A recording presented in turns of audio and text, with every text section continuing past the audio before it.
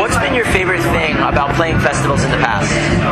Um, I think probably you know the chance to see a lot of your friends and bands that you normally only see it on the road or at festivals.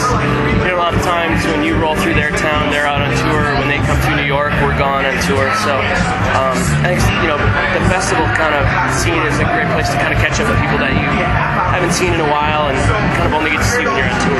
It's, it's a great place to see you know bands that you've maybe heard about or read something about. Um, that you haven't had a chance to check out. You know, being at a festival, you're kind of you're around all day. You see a lot of good music. All right. Now, have you guys gotten to check out the scene at Rothbury this year? We just got here. Just got here. So, are you looking to? Are you looking forward to seeing anybody today? Uh, Willie Nelson, uh, maybe catch a little bit of the Dead.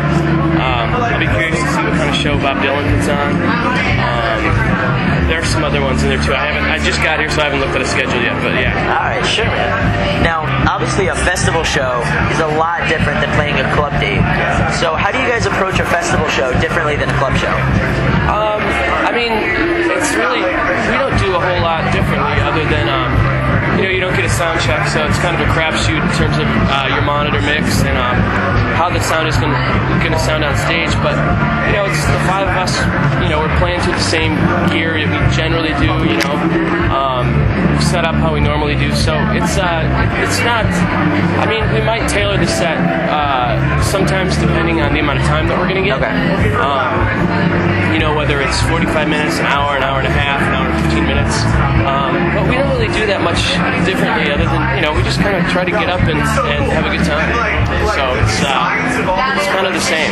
Awesome, man. And so, this is kind of an, an early summer festival. What does the rest of the summer hold for you? Um, well, we've got on this string of dates. We're out for about another week or so, um, and then I think we're gonna probably August sometime start to get into the studio and do some writing.